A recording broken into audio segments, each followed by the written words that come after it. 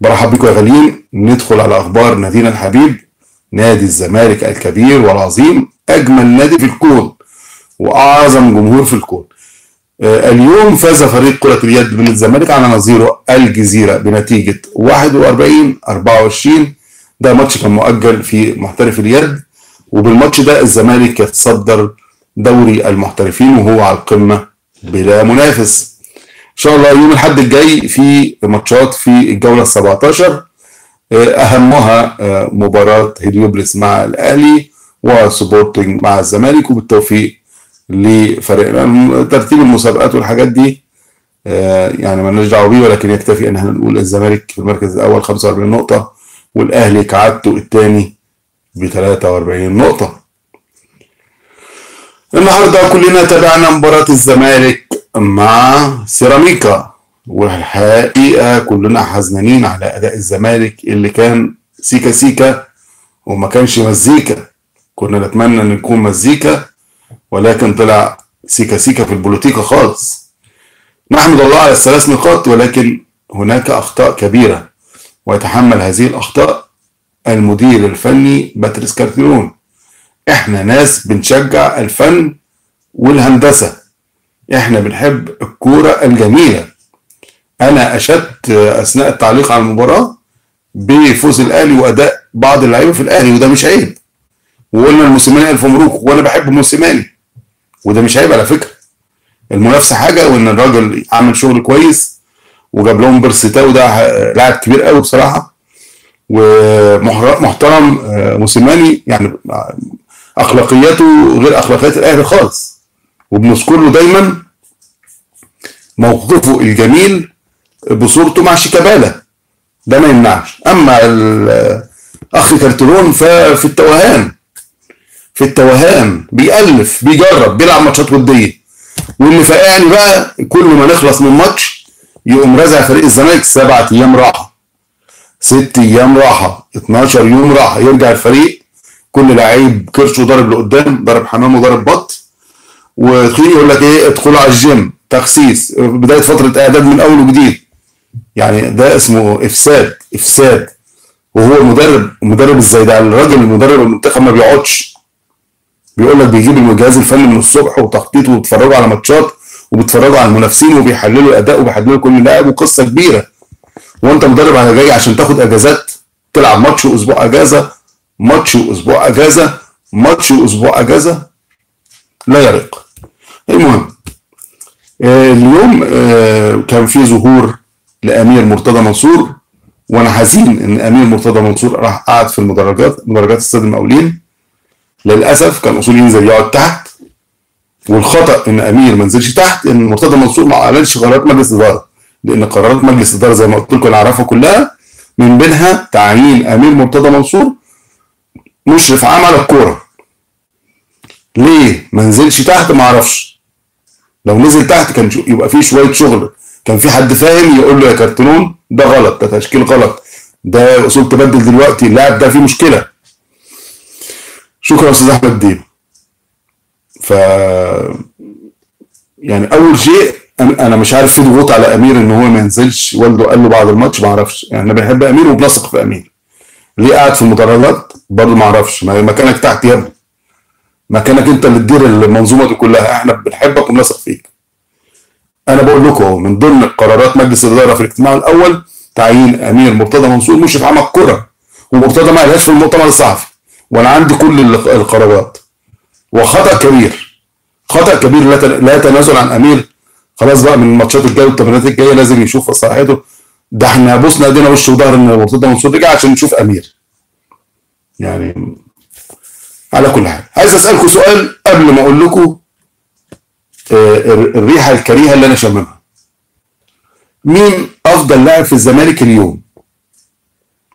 مين أفضل لاعب في الزمالك اليوم؟ قول الحق وما تخافش من حد. هشرب شوية شاي على ما إيه أشوف الإجابات. أستاذ محمد فاضل معانا ولا لأ؟ طيب.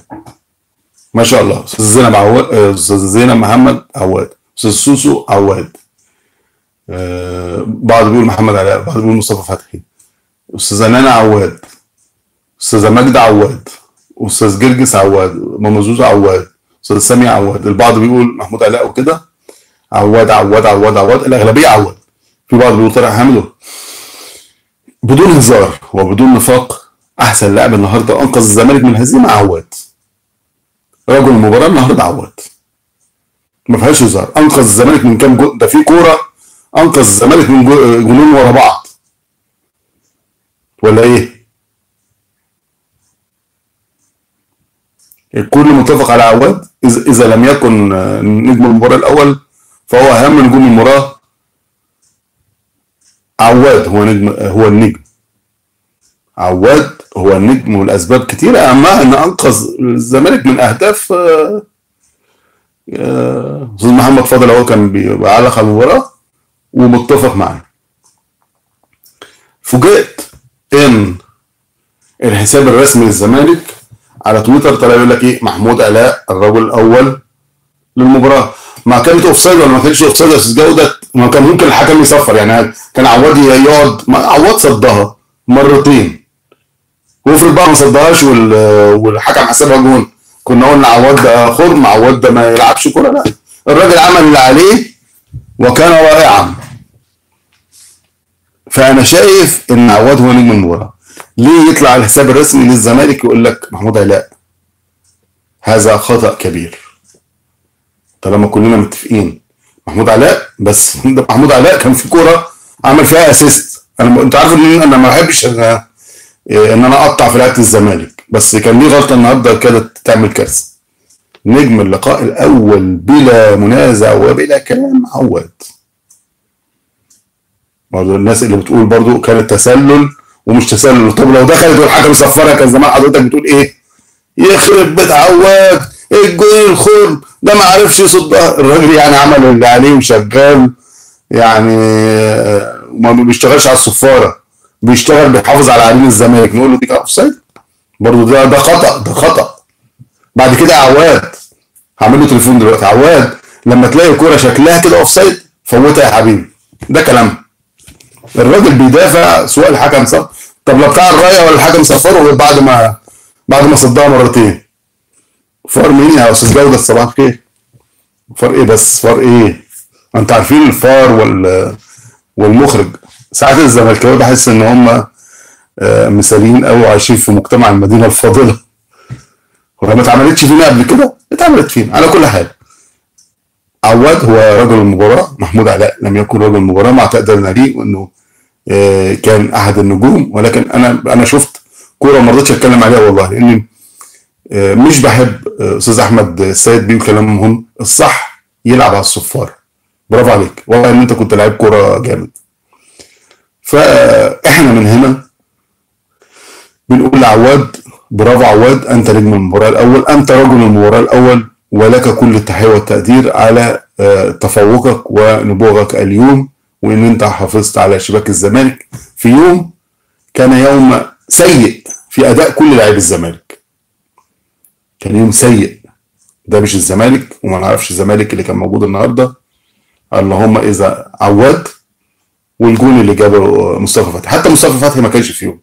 ولكن إحنا عادتنا إن إحنا بنقف جنب اللعيبة وبنقول ربما مشاكل الإدارة وربما تأخر الفلوس وربما وربما وربما.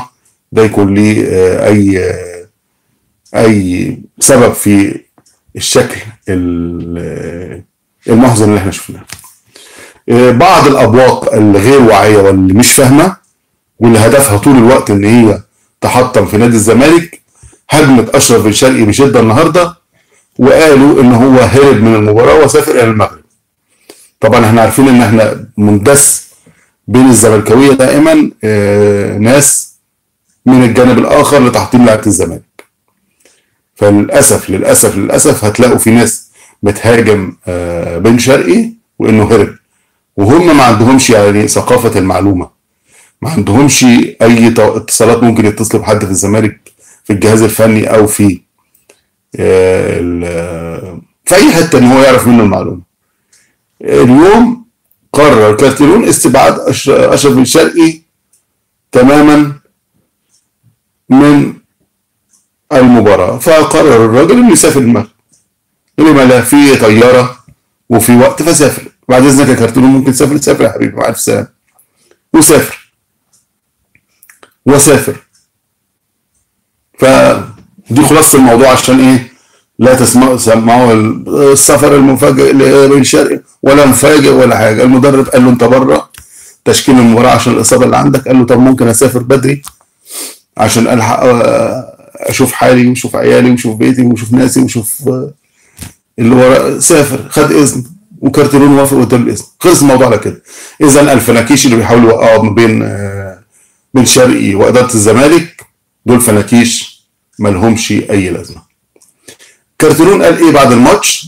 بس أنا قلت لكم إن هو خد موافقة كارتلون كارتلون قال إيه بعد الماتش؟ قال الفريق بدأ يستعيد جزء من الثقة المفقودة بسبب تراجع النتائج في الفترة الأخيرة وكان هناك إصرار على الفوز وقال إن الفريق كان يسعى لتسجيل هدف تاني ولكن لم ينجح في ذلك رغم الفرص التي سنحت للزمالك على مدار الشوطين. وإنه بيعتمد على جميع اللاعبين في ظل ضغط المباراة وعدم حصول اللاعبين على الراحة الكافية. يعني أنا مش مصدقه على الراحة الكافية ده. أنت كل شوية بتديهم ست وسبع أيام. وقال إنه يحرص على تجهيز جميع اللاعبين المشاركة في أي وقت وإن أحمد فتوح لعب جناح أيسر وشارك فيه وده شارك فيه من قبل وإن إسلام جابر وعبد الله جمعة يلعبان في أكثر من مركز. وقال إن في حالة الخسارة سيتعرض للانتقالات وفي حالة الفوز الجميع يشيد به يعني ده كلامه كلام فنكوش وما يهموش. برضو أنا ما زلت مستغرب إن كارتورون بعد كل مباراة أو توقف يرزع اللعيبه ست وسبع لعيبه ست سبع ماتشات. النهارده قام رازعهم سبع ماتش ست ماتشات تقريبا أسبوع أسبوع أجازة. ما أكتر اجازاتك يا كارتيرون يا ريتنا بنشتغل عنده. أه ما راحش يا أستاذ كمال. هقول لك دلوقتي التفاصيل كلها. أه تأكد غياب أحمد سيد زيزو لاعب وسط فريق الزمالك أه عن مباراة المقاولين اللي هتقام يوم 21 ديسمبر بعد حصوله على البطاقة الصفراء. أستاذ صالح هصبر لنهايه البث وهرد عليك. هقول لك كل حاجة وأكتر. هقول لك شوية أسرار كمان. بس رجاء الصراحة أنت مثلا داخل بتسأل بس مش عامل لايك يعني أنا دلوقتي أسماء ال 297 اللي عاملين لايك فيهم أصدقاء حبايب قلبي وناس محترمين أنا بأجل لهم مش عاملين لايك يعني رجاء رجاء زي ما الواحد تعبان عشان خاطركم اعمل لايك بقى قدامي دلوقتي حتى الديسلايك خلاص لغيناه. ما بقاش فيه ديسلايك الديسلايك ده هتعمله لنفسك. ما تعملهوش لينا يعني. أما اللايك فبيظهر بيظهر لي الاسماء الناس دلوقتي. ففي ناس حبايبي في ناس محترمة في ناس مثقفة. اعمل لايك آه تاخد مفاجآت. فعرفنا كده إن زيزو تم إيقافه المباراه ومش هيلعب الماتش اللي جاي لأنه قبل كده كان حصل على بطاقة في طلائع الجيش وبطاقة في ماتش الأهلي ودي البطاقة الثالثه نقول إيه تاني؟ طبعا كلنا شفنا الماتش. مستغرب حملة أهلاوية شديدة وحملة سيراميكية شديدة بعد المباراة. على الحكم إن الحكم ما حسبش ضربة جزاء للسيراميكا حد فيكم خد باله إن الحكم ما حسبش ضربة جزاء للسيراميكا الدنيا يعني يمكن الحكم ما صفرش وانتهت المباراة. ناسين كل حاجة. طب ما الأهلي ما شاء الله فرد أهو فرق آه ما شاء الله كام كتير نقط كتير أهو. يعني الدنيا حلوة معاه. هاجمين على الزمالك؟ أكتر حاجة يعني لفتت نظري هم بيقول لك سيراميكا ليه ضربة جزاء والحكم كان بيجامل الزمالك وده كله أنا شايفه في فنكوش إحنا لو شفنا حاجة زي كده كنا قلنا ما ما بنتأخرش يعني. إحنا بنقول الحقيقة دايما في اي حاجة. ولكن هي حملة تحطيم الزمالك أكتر من التحطيم لكن في واحد اسمه معتز البطاوي المدير الرياضي لسيراميكا استغلها فرصة وطالع يقول كلام موزون ويا ريت ينفذوه. بيقول لك أنا مطالب بتعيين رئيس لجنة حكام أجنبي في الاتحاد المصري لكرة القدم. يا سيدي يا ريت والله ده إحنا اساتذتنا الأستاذ محمد فاضل والدكتور سامح رضوان والأستاذ جودة عودة بحى صوتهم من هذا الموضوع. يا ريت يا بطاوي يا ريت يا بطاوي أنتوا ما شاء الله سيراميكا كليوباترا يعني عندكم فلوس كتير. آه، جيبوا لنا رئيس لجنة حكام أجنبي. ده إحنا طالبنا من الموضوع ده كتير قوي يعني. كلام بقى كتير كلام كتير كلام كتير الناس كأنهم اتظلموا يعني. يلا منهم لله اللي ماسكين المنظومة الرياضية كلها. النهارده الأستاذ أمير مرتضى منصور المشرف العام على الفريق الأول لكرة قدم الزمالك. وزي ما بعيد وبكرر لكم إن صدر قرار من مجلس إدارة بتعيين أمير مرتضى منصور مشرف على الكورة. ولا أعرف سببا لأن المستشار مرتضى ما قالوش ضمن القرارات اللي قالها في المؤتمر الصحفي. ولكن يعني عزانا إن هو هيستلم المهمة يعني من بكرة ولا حاجة. ف أمير مرتضى قال إن تم الاستقرار على اسم المدرب العام والمدرب المساعد. تم الاستقرار على اسم المدرب العام والمدرب المساعد والثنائي الجديد هيكونوا موجودين مع كارتيرون خلال الفترة القادمة. وقال كمان إنهم هديكم تلميحة كده عنهم. وقال إنهم سيكونان من الوجوه الجديدة ولم يعملا من قبل في النادي وذلك لمراعاة لظروف الفريق واحتياجاته خلال الفترة الحالية. أنا ما أعرفش يعني رأي أمير إيه أو رأي المستشار أو المجلس إيه في إنهم يكونوا وجوه جديدة؟ وليه ما يكونش وجوه قديمة؟ وليه ما يكونش أسامة نبيه وليه ما يكونش الشيشيني؟ وليه ما يكونش يعني في ناس كتير محترمة قوي على كل حال ربما يكون مثلا يقصدوا مثلا محمد صبري مثلا مثلا. ربما يكونوا يقصدوا مثلا مثلا. خلينا نشوف. المهم يبقى عندنا مدرب عام ويبقى عندنا مدرب ولا بسيوني يا سلام يا مان إيجيبت. أعزمك على حتة عزومة يا مان إيجيبت. لو طلع عبد الحميد بسيوني يعني عزومة ما تحلمش بيها.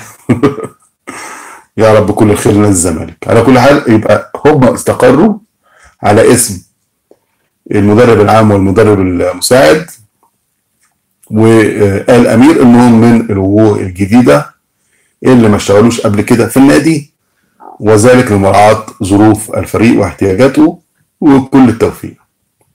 كل التوفيق. إحنا عارفين إن في اجتماع هيتم بين المستشار مرتضى وكارتيرون وأمير غدا ما أعرفش ضمن الأحزان اللي بيشحب النادي يلغى الاجتماع ولا لا بس مرتضى منصور في قراراته اليوم لم يتطرق لإلغاء هذا الاجتماع.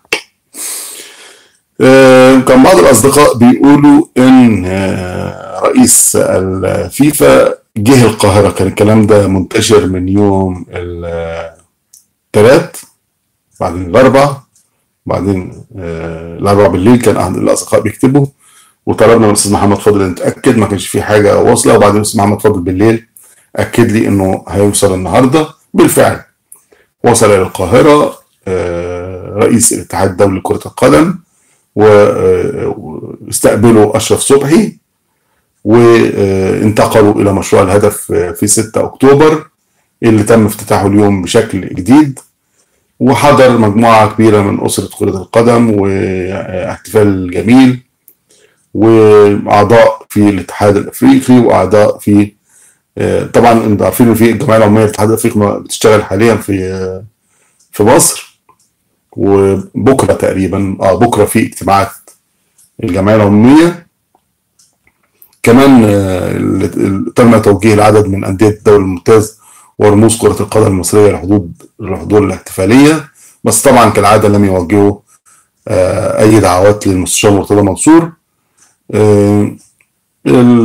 رئيس الاتحاد الدولي إنفنتينو قال إن القاهرة هي عاصمة كرة القدم. وإن كل ما بيقابل حد مصري بيقابله أنت بتشجع الأهلي ولا الزمالك. وقال إنه سعيد جدا بالتواجد في مصر وبالاحتفال الكبير وعمل مؤتمر صحفي وقال أني أعتبر حاليا إنني في عاصمة العالم والقاهرة عاصمة كرة القدم وأنا أذهب لدول كبرى مثل أمريكا وأسأل معظم الجماهير المصرية هل تشجع الأهلي أم الزمالك. وقال أنتوا في مصر المفروض تكسبوا كل المباريات بسبب وجود تلك الإمكانيات الكبرى خلال الفترة الأخيرة. رئيس الفيفا كمان آه، لعب ماتش ودي وارتدى فانيلة آه، أو قميص المنتخب المصري خلال مباراة استعراضية كانت جميلة ورائعة. دي ال- المعلومات عشان ما حدش يقول إن هو جاي عشان المنتخب. ولا جاي علشان مجاهد ولا جاي علشان مرتضى ولا جاي علشان الملفت فقط للنظر هو ظهور شخصية كريهة ضمن الاحتفالية دي.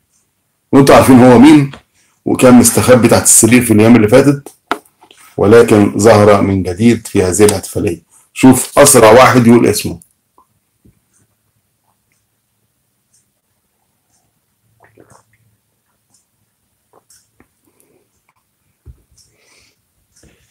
أسرع واحد يقول اسمه.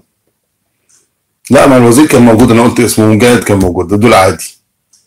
أبو ريده الأستاذ محمد دي برافو عليك. هاني أبو ريده ظهر وبقى عمال يلزق نفسه هنا يمين ويلزق نفسه يلزق شمال مع إنه بقى له فترة مستخبي والبعض قال إن هو هربان خارج مصر. ظهر بشكل آه، مستفز. ظهر بشكل مستفز. هو جاي عشان الاجتماعات بتاع الجمعيه العموميه للاتحاد الأفريقي وافتتاح مشروع الهدف بعد تطويره. بس ادي جه مصر هو وال- والست اسمها إيه؟ المحترمة أمين عامر فيفا. وما زال موضوع مرتضى منصور فيه كلام كبير وكلام خطير. يعني معالي المستشار مرتضى منصور رئيس نادي الزمالك برضو قدامك فرصة تقابلهم وتوصل معلومات. ودي بقى ملهاش علاقة بقى مش هتشتكي ولا بتاع. اقعد اشرب معاهم شاي ووصل لهم معلومات لأن موضوع مرتضى منصور موضوع كبير قوي يا جماعة موضوع كبير قوي كبير قوي قوي قوي يا ريتني آه، أقول لكم بعض الحاجات اللي فيه.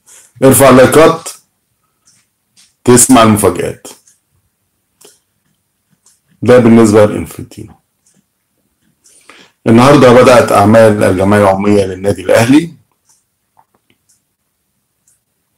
طب خلينا قبل ما ندخل في النادي الأهلي خلينا عشان فاكرين قصة الطفل معاذ؟ فاكرين قصة الطفل معاذ والصورة اللي أنا حطها من حطيتها من كام يوم؟ أربع خمس أيام حاجة زي كده. وهو بيبكي للأحداث التي حدثت آه، من بعض صغار النفوس في مباراة الزمالك والبنك الأهلي. واتكلمت أنا قلت اتكلمت ما قلت أنا مش هتكلم على اللعيبة بس أنا هتكلم على آه، إن لازم يبقى في تحقيق. وفوجئت من بعض الناس اللي كنا نحسبهم يعني يعني مش مهم. فوجئت إن في بعض الناس بتهاجمني. هجوم شرس. أبوه طلع في التلفزيون. وأبوه كذب الموضوع. وأبوه يقول له يا جماعة الصور الواد بيبكي محروق قلبه ده طفل. يا جماعة أنا مش عايز أتكلم. أنا عندي الحقيقة مش عايز أتكلم. فاكرين أنتوا الموضوع. أنا مش من النوع اللي بحب أرجع واكد أي معلومة بس اسمعكم مع بعض الولد قال إيه؟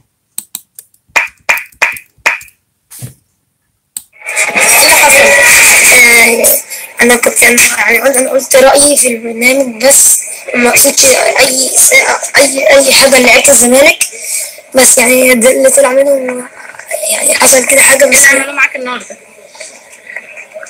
عادي بس آه، يعني يعملوا حاجة بس اللي زعلني بس إن أنا كنت يعني ما أقصدش إن هم عملوه ده كان مش مستاهل أنا كنت ما اقصدش أي حاجة أنا عاملها بس اللي هم عملوه يعني أنت خايف من إيه؟ عشان يعني في حد قال لي إن أنا مش هينفع الماتش ده تاني وأنا بحب الحضور ده جدا بس هم قالوا لي مش مش مش هتيجي تاني قالوا لي اللعيبه كلها مش عايزينك تيجي اللعيبه كلها ولا كابتن محمود وكابتن أوباما؟ لا هو حد قال لي اللعيبه كلها مجمعة عليك إن أنت مش هتيجي الماتش تاني بس أنا أنا أنا عادي دي وجهة نظرهم بس أنا برضه مش عايز مش عايز أنا عايز استفسر اديكوا سامعين اديكوا ما سامعين اقصدش اني أغلط في أي ساعة في أي حد فيهم. بس. اديكوا سامعين ال- ال- المذيعة بتقول له أوباما ولا؟ لا اللعيبه كلها. يعني يا ناس يا ناس ده طفل. يا ناس ده طفل.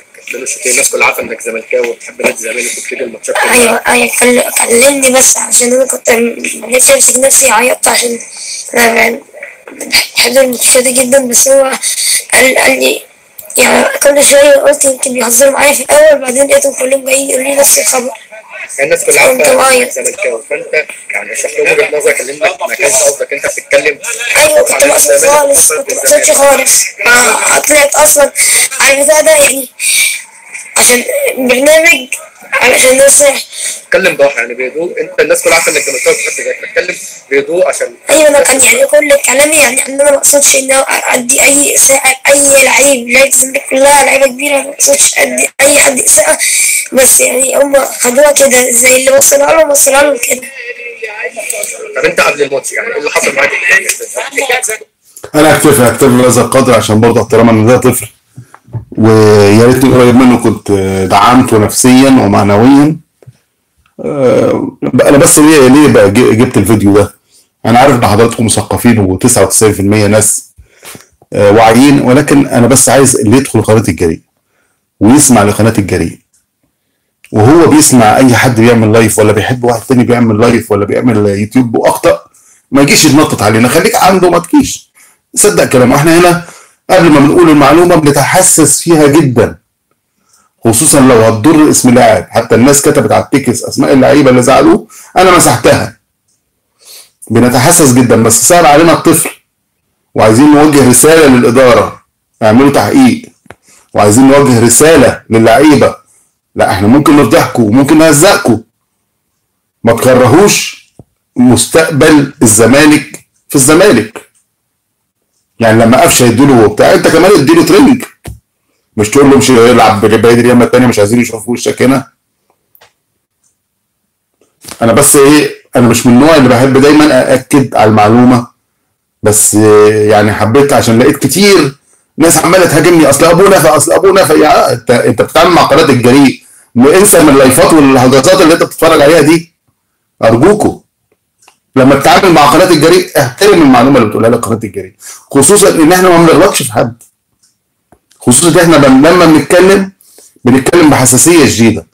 قلنا بس عشان بكاء الطفل إحنا بنكرمه نحط صورته. إحنا قلنا عشان بكاء الطفل بنقول مطلوب تحقيق. لازم كل واحد يلم نفسه ويحترم نفسه. دول مستقبل الزمالك. قفشة بقى غالي عند جمهور الزمالك على فكرة. حركة بسيطة. موسيماني بقى غالي عند جمهور الزمالك. حركة بسيطة صورته مع شيكابالا. فالأخوة اللي بيحاولوا إن هم يبقوا في سباق على التكست مع المعلومة اللي بنقولها اصبر. اصبر تكسب وتستفاد. حضرتك بقى بتاخد معلوماتك من الفيسبوك ولا من واحد صاحبك بتاع لايف اصله صاحبي واصله صديقي وقال المعلومة خليك عنده. إحنا مش عايزين. دي قناة المثقفين. دي قناة المثقفين. حضراتكم اللي أنتوا اللي. اللي. بيقعد يجيب معلومة هنا وم... 90% بيسرقوا المعلومات من هنا ومن هنا. إحنا بنحاول إن إحنا نعمل ثقافة. إيه بنحاول نعمل ثقافة. الأستاذ حسين وهبة اتكلمنا على على الماتش كتير في البداية النهارده. ارجع بالشريط الأحمر لورا شوية وقول لي رأيك في الكلام اللي أنا قلته. يا ريت الرأي اللي أنا قلته يكون عجبك. فبعيد وأكرر ليه؟ ده طفل صغير ده مستقبل نادي الزمالك ده عاشق للزمالك. بالرغم من آه، قفشة اداله التيشيرت طلع اتكلم على الزمالك كويس قوي. طلع اتكلم أحسن من 100 ألف واحد بيعمل لايف وبيعمل يوتيوب وبيقول إن هو زملكاوي. يعني أنتوا شفتوه في الحوار مع شلبوك أحسن من 100 واحد بيطلع في قناة الزمالك. أحسن من 1000 واحد بيهرتل في اللايفات الفيسبوك. أحسن من 9000 واحد أهلاوي ولا زملكاوي بيطلع في اليوتيوب وبيقولوا الناس اللي شافوه بيقولوا عليه لاعب كويس. لعيبة الزمالك تقول له مش اطلع بره يلا العب بعيد. وقفشه يديله تيشيرت. خلاص. انسى يا صاحبي. انسى مستقبل الزمالك. انسى مستقبل الزمالك. ربنا يهدي النفوس والنفوس لازم تفهم إن كل شيء وليه موضوع النقطة الثانية عايز أكلمكم فيها فرصة كده إن إحنا مع بعض وسط البث موضوع اتكلمنا امبارح على موضوع القناه الزمالك ما حضرتش ليه؟ المؤتمر الصحفي بتاع المستشار مرتضى منصور والقنوات الثانية ما حضرتش ليه؟ علمنا من شاهد عيان حضر المؤتمر الصحفي أن المستشار مرتضى منصور هو الذي منع قناة الزمالك وهو الذي منع القنوات الأخرى من الحضور. ده شاهد عيان. بيخص بالذكر قناة الزمالك. هو واخد موقف من قناة الزمالك. ورفض دخولهم. رفض دخولهم. بس شفنا بالليل خالد الغندور اتكلم كويس عن المستشار. آه، شفنا تقرير في برنامج أخبارنا ولا حاجة زي كده. اتكلم كويس عن المستشار. شفنا وشفنا وشفنا وشفنا. آه، مستشار مرتضى منصور رئيس الزمالك العائد بحكم ربنا وبحكم القضاء مد يده بالصلح. مع محمود الخطيب رئيس مجلس إدارة النادي الأهلي وقرر إنه يكرم الفسده اللي تولوا اللجان السابقة. ماشي ده قرارك وده موضوعك. بس رجاء زي ما أنت بتفتح إيديك وحضنك لأعدائك ما تفتحهم بقى لقناتك وتفتحها ل- للزملكاوية وما نقعدش نخلص على بعض. بس دي رسالة أكيد يعني م- مفهومة. مع إن لك كل الحرية أنت والناس المحترمين ان تغير تشيل أبو العيلة تحط آه، فلان تشيل فلان تحط فلان تشيل اعلان تحط اعلان ده براحتكم. إنما ناخد مواقف ونعادي القناة يبقى القناة في حتة وهو في حتة. الراجل يعني اللي بتاع الكاميرا بتاع القناة اللي رايح يحضر وهو ملوش أي ذنب هو مش رئيس القناة ولا هو آه، بيصدر قرار ده الراجل يحضر. يتمنع الأمن يزقه ويكرشه. يعني تصرفات مش لا تليق لا تليق ابدا من ناس كبار. فتحت حضنها لمحمود الخطيب. وفتحت حضنها للناس اللي دمروا الزمالك. لا يليق. نفتح بقى حضننا للكل. صفحة جديدة أنا معاك. حلو قوي. وكلام عظيم. وكلام محدش يقدر ي- يتكلم فيه. النقطة الثانية أو النقطة الأخيرة. مش أخبارنا الأخيرة ولكن النقطة الأخيرة في هذا الملف. آه، المستشار مرتضى منصور كان هيقعد بكرة مع آه، الصفحات والجروبات واللايفات واليوتيوبرات وبتاع. مين اللي هيقول له الناس دي أهلاوية ولا زملكاوية؟ ما إحنا عارفين إن جروبات الزمالك مخترقة. عارفين إن في ناس بتعمل لايفات عن الزمالك وهم سبوا ولعنوا سنسفيل مرتضى منصور والفيديوهات موجودة. عارفين الناس بتطلع تعمل لايفات عن الزمالك وهم قالوا عن مرتضى منصور مش هيرجع وانسوا هو ما يعرفش. عارفين إن في ناس بتطلع في الصفحات والجروبات واللايفات قالوا إن مرتضى منصور كان مديهم فلوس عشان يعمل موضوع أبو سنيدة. إذا هيقعد معاهم بقى يعني مين ضحك على مرتضى منصور وقال له إن دول هم الناس الزملكاوية المخلصين اللي كانوا واقفين في صفك في الفترة اللي جاية؟ ده هي جت من عند ربنا وفاة المستشار الجليل ال- الراحل الذي توفى مساء أمس المستشار جلال إبراهيم إنه يأجل الاجتماع عشان يفكر شوية لأن مرتضى هوائي. يلا بقى نقعد ونجهز لهم التيشيرتات ونجهز لهم الظروف وهنبقى هندخل في قصة ملهاش أي لازمة. اهدى خلي واحد عين واحد من المسؤولين اللجنه الإعلامية يقول له راجع لي ملفات الناس دي واسأل عليها كويس. والناس اللي كان مخلصة ليا طول الوقت جيبهم. جيبهم. آه أنا قلت الكلام ده يا أستاذ إبراهيم تور أنا قلت. أنا قلت الكلام ده منذ قليل. فمش معقولة ب- الجروبات والصفحات كلها مخترقة. بقول لكم في ناس. بتطلع بتقول لايفات والله العظيم في حوارات مسجلة بينهم ومن بعض ان فضحوا المستشار إن هم كانوا واخدين منه فلوس على موضوع أبو سنيدة. والله أعلم الحقيقة فين. أنت رايح تقعد مع مين؟ نفس القصة ونفس الحكاية و... وأنت خدت قبل كده الظرف من مرتضى ومرتضى كان مدينك ولا مش عارف إيه. طب ما تلم ولادك يا مرتضى. لم بتوع قناة الزمالك. اقعد مع الأستاذ فتحي سند. اقعد مع خالد الغندور حتى لو هتمشيه. أنا ما بقولوش شغلهم على فكرة. أنا ما بتدخلش في القرارات. أنا بقول له اقعد معاهم. ما تخسرهمش. قول له يا خالد شكرا على الفترة اللي فاتت. أحسنت. ولكن إحنا محتاجين نغير الدم في القناة. ربنا يوفقك. أكلم لك رئيس محطة تشتغل معاه. القناة دلوقتي مش هتساعدك معلش. الجمهور بيطالبنا بالتغيير. وهنشيلك. بس نمشي أصدقاء زي ما قال على موضوع بن شرقي وضربنا له تعظيم سلام.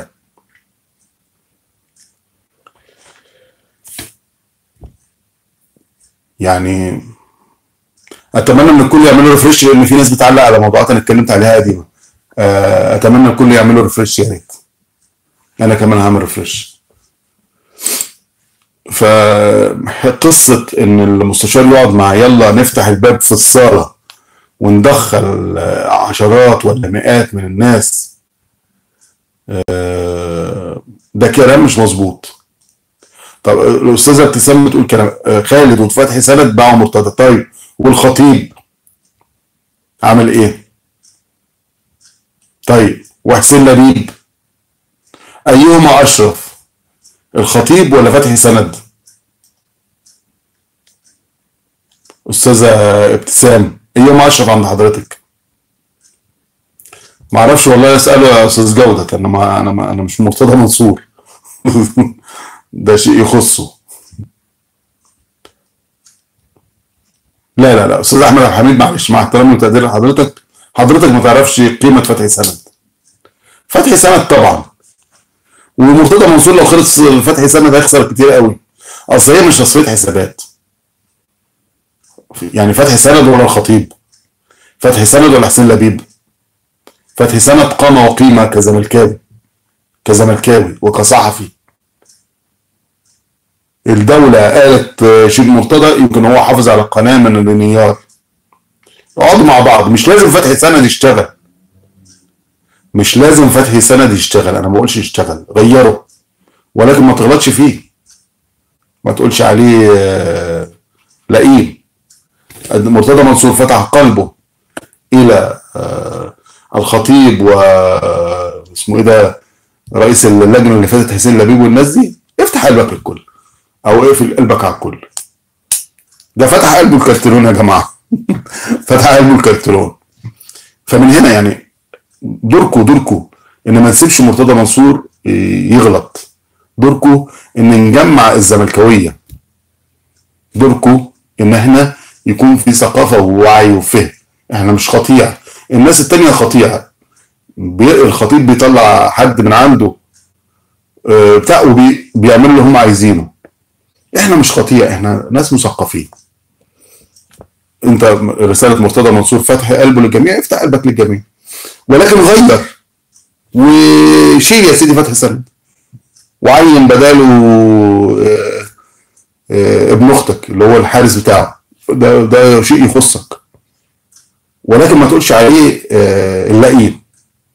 لا عتاب شديد. ما اقولش صديقي آه، حسين لبيب وبفتح إيدي للخطيب. أو الخطيب النهارده عز الدنيا كلها حتى عز العمال وما عزكش. ما ردوش بأي إشارة على الدعوة اللي أنت عملتها. ما ردوش.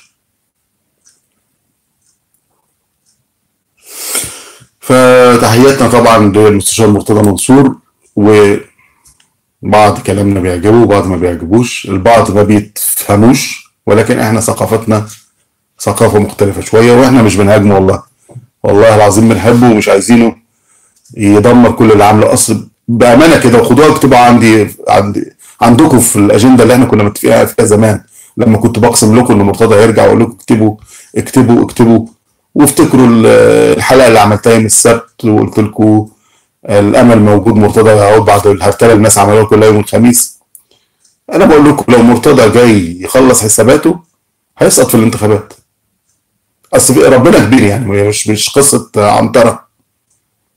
مش قصة عنترة. لو جاي يصفي حساباته ويشتم ده ويعمل ده هيسقط. أو هتظهر له مخالفات تانية. أما لو جه فتح صفحة حلوة مع الكل وكلام حلو مع الكل ولم ولاده ولم الزملكاوية وأنقذ الزمالك. ويسيبه من الخطيب ينسى الخطيب بلا خطيب بلا مصالحة بلا بتاع. ينسى حسين لبيب يطنش يكبر يعمل نفسه ناسي.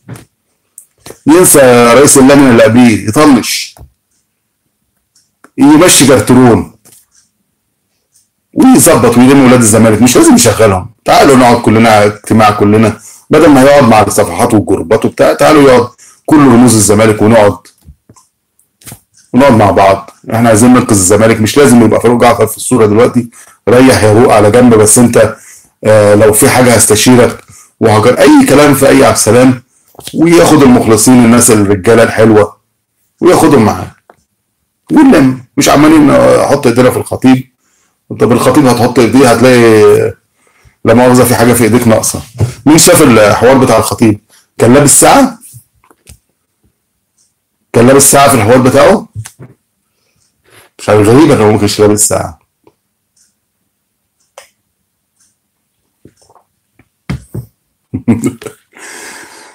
تحياتي لحضراتكم. إحنا متفقين إن شاء الله في الاحتفالية بتاعت قناة الجريء يوم 28 هن... هنبعت له ساعة حائط. ساعة حائط. على كل حال النهارده بالنسبة للنادي الأهلي النهارده كان في أول يوم في الجمعية العمومية للنادي الأهلي لم يكتمل الاجتماع الأول للجمعية العمومية للنادي الأهلي اليوم الخميس بعد أن سجل 539 عضو فقط في اليوم الأول ليتم بذلك تأجيل أعمال الجمعية العمومية لانتخاب مجلس الاداره الجديد إلى غدا الجمعة بسبب عدم اكتمال النصاب القانوني. انتخابات الأهلي بتشهد تنافس بين 20 مرشح على خمس مناصب وهي الرئيس والنائب وامين الصندوق والعضوية فوق وتحت السن.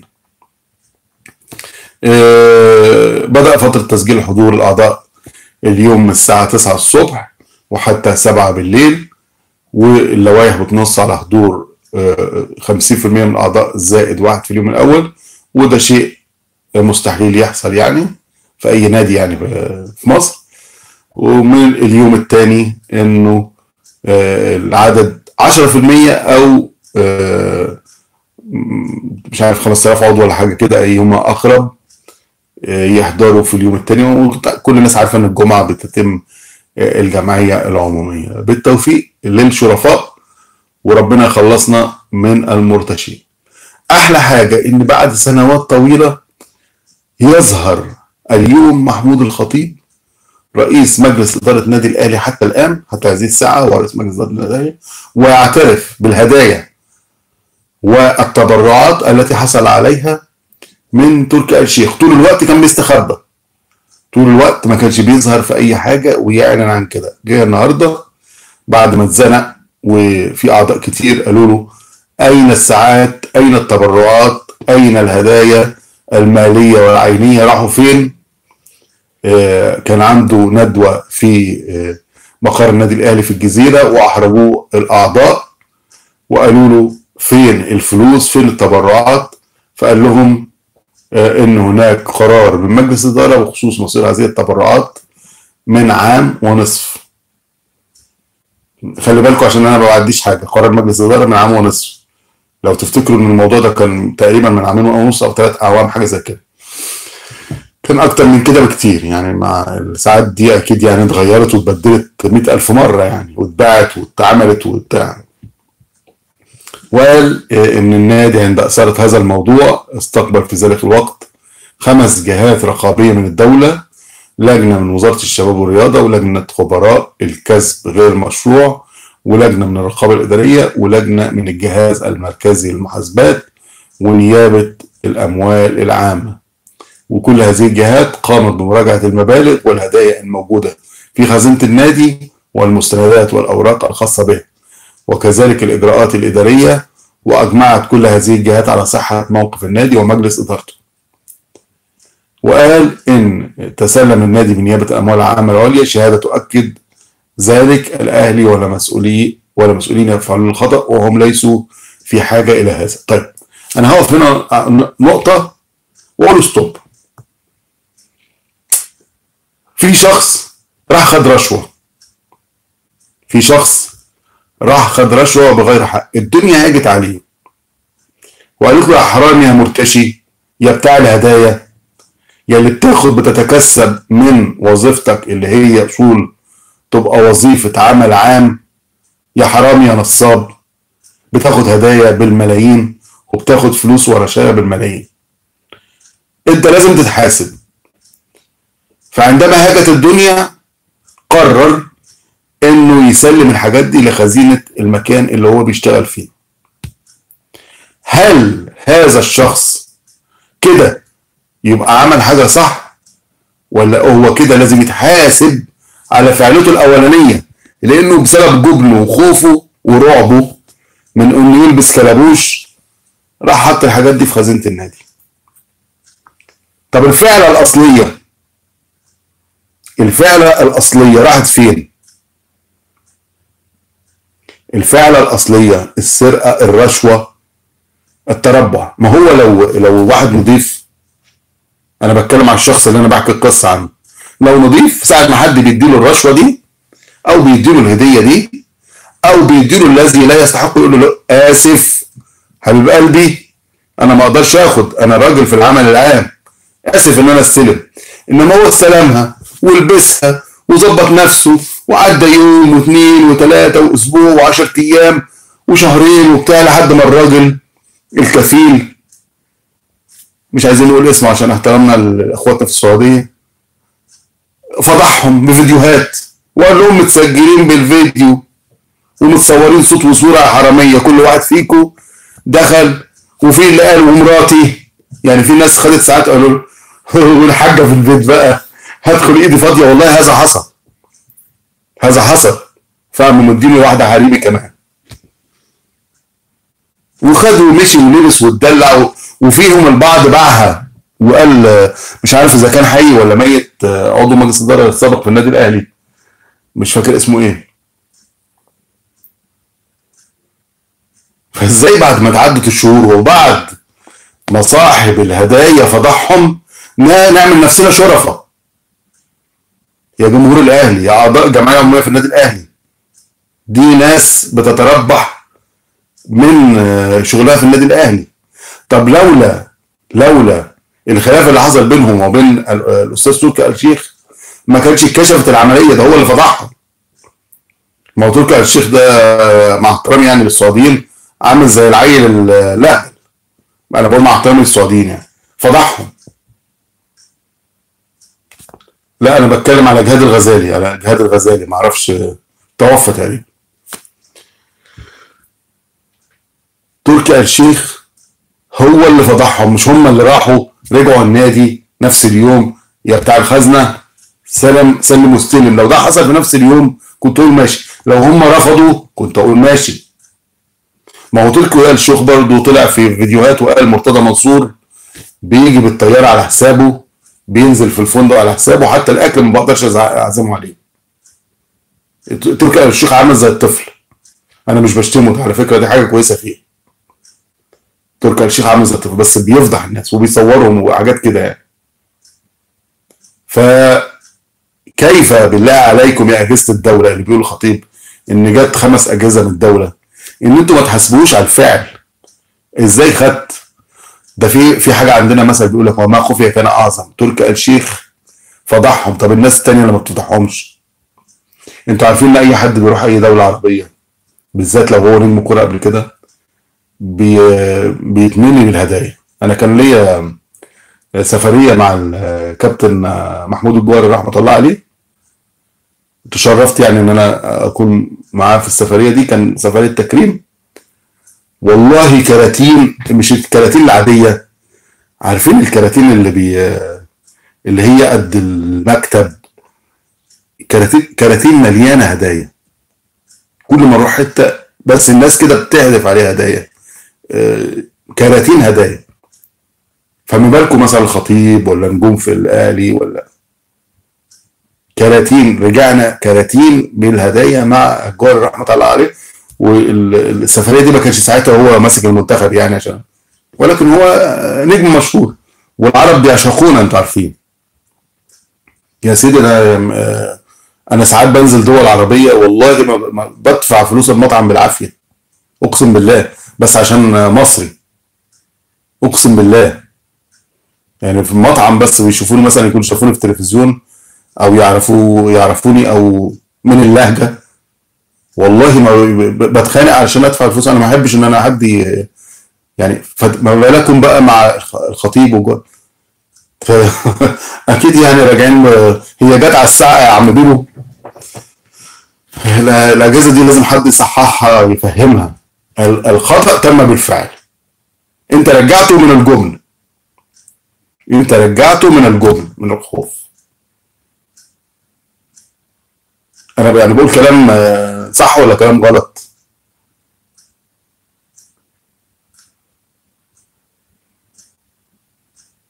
أنا بقول كلام صح. أنا ما بحبش سيرة حسين لبيب يا أستاذ إبراهيم. مع محبتي ليك يعني. كلام صح ولا كلام غلط؟ أستاذ أحمد الأسواني جه أهو. آه، سمعت ال- القانون الجديد يا أستاذ أحمد الأسواني؟ مستشار الأسواني حولنا لك قضية النهارده. لا لو طلع قال لك أنا كنت بتعشى وما سمعتهاش آه، نعمل له مداخلة في آخر البث وكلكم تسألوه وأنا مش هتكلم. سمعت القانون الجديد؟ اوعى حد يقول له. اوعى حد يقول له. خلينا اجيبه. لا مش هقول والله ما اوعى حد يقول مستشار الاسواني على القانون الجديد. خلينا حد ما يدخل معانا على التليفون. كده خلصنا الموضوع بس لنا لنا حديث لنا حديث إن شاء الله. أنا نفسي الخطيب يكسب علشان يتحاسب وهو في الكرسي. عشان يتحاسب وهو في الكرسي. وهو في مقعد رئيس النادي. ولنا حديث بعد ذلك. وللدولة حديث معاه. وبكرة تفتكروا. بكرة تفتكروا. مش هيكمل مدته وهيتحاسب هيتحاسب. أصل في حاجات كده ربنا كده كبير وبيكشفها. في حاجات حلوة كده ربنا بيبقى ما بينساش حد. ويا ريت رجاء مننا كده باسم حضراتكم رجاء من المستشار مرتضى منصور ما يمدش ايده تاني. أحسن آه، هم كسفوه الدين بيحب الجولة خد الشريط من الأول. طيب الاعلامي أحمد موسى من الناس اللي انبطحت واتخضت بعد عودة مرتضى منصور بعد ما كان آه، بيقول كلام وحش قوي. طلع امبارح أنا عنوان الفقرة دي اضحك مع أحمد موسى. أكدوا لي على سماع الصوت وسماع الموضوع بكتابة الله فوق الجميع. أحمد موسى خرج امبارح وقال إنه ما عندوش مشاكل مع مرتضى منصور وقال إنه دايما يعني بيتكلم عن الزمالك وعن مرتضى وفقا للقانون وقال إن ما يعنيني استقرار نادي الزمالك. أحمد موسى كل ما يعنيه استقرار نادي الزمالك. الناس دي بقى فاكره ان جمهور الزمالك عندهم ذاكرة ال- السمكة. قال ما يعنيني هو استقرار الزمالك ولدينا مشجعين كتير من جدا من الزمالك وما عنديش مشاكل مع مستشار مرتضى أو غيره. وكلام كده يعني بيصالح بيه مرت- مرتضى منصور. وعلى مرتضى منصور كمان انه يمد ايديه لأحمد موسى. ما هي كلمة أصلا. كلمة يعني. إذا كان مستشار مرتضى منصور زعلان من شيكابالا أول حاجة لأن شيكابالا طلع مع عمرو أديب. أنتوا فاكرين الفيديو اللي المستشار مرتضى منصور قال إن هو زعلان من شيكابالا عشان طلع مع عمرو أديب. هل ممكن يتصلح مرتضى منصور مع أحمد موسى؟ يلا على كل حال المستشار مرتضى منصور وجه لجمهور نادي الزمالك العظيم والسيدات والسادة آه، أعضاء آه، الجمعية العمومية لنادي الزمالك رسالة اليوم وقال فيها نظرا لوفاة أخي الأكبر وأستاذي ووالدي المستشار آه، ووالد المستشار أحمد جلال نائب رئيس مجلس اداره ووفاة معالي المستشار جلال إبراهيم رئيس النادي الأسبق. ولحزننا جميعا على فراقه وأصبح من الواجب أن نتخذ القرارات الآتية احتراما لمشاعر أسرته آه، الصغيرة وأسرته الكبيرة وهي ملايين الزملكاوية من الجماهير الوفية التي اسعدها هذا الرجل بالبطولات التي حصدها النادي. في عهده واحد إعلان حالة الحداد في النادي لمدة ثلاثة أيام. اثنين أن يرتدي اللاعبون شارة سوداء على ذراعهم في مباراة اليوم التي تقام على أرض المقاولين. والماتش خلص طبعا وشفنا اللعيبة حاطين الشارة. ثلاثة أن يقف الفريقان وطاقم الحكام. دقيقة إحداد. ومش عارف الأخوة اللي شافوا ماتش الأهلي هل لعيبة الأهلي وقفوا دقيقة إحداد ولا لا؟ يا ريت تكتبوا لها التكست. أربعة تقام صلاة الجنازة على الروح المرحوم بالمسجد الكبير الواقع داخل النادي ويخرج جثمانه من النادي وهذا ما تم بالفعل. آه، تأجيل زيارتي ودخول النادي العظيم الذي كان محدد لها اليوم الساعة 6 مساء إلى يوم الخميس القادم يعني مرتضى منصور هيدخل النادي بعد أسبوع. إذا تأخر دخوله النادي أكتر آه، من 10 أيام تقريبا. وهيكون يوم الخميس الجاي الساعة الخامسة مساء لأنه لا يليق أن يقيم لأعضاء النادي وعضواته والموظفين والعمال احتفالية كبرى بمناسبة عودتي إلى النادي وانتصار الحق ونحن جميعا نشعر بالحزن على فقدان رمز كبير من رموز النادي. كمان تأجيل لقائه مع الأفاضل المسؤولين عن صفحات الميديا واللي كان محدد لها الجمعة 26 نوفمبر الساعة 4 العصر إلى يوم الجمعة القادم برضو الساعة 4 العصر. واللي فيه سرادق هيكون المغفور له. معالي المستشار جلال إبراهيم يوم الأحد إن شاء الله في شارع الملك فاروق داخل النادي من بوابة جامعة الدول العربية. رحم الله الفقير وجعل مسواه في في سر صغير كده عن المستشار مرتضى منصور قلقني وواكل قلبي ومحتاج إني أناقشه معاكم النهارده. يا أجمل ناس في الكون.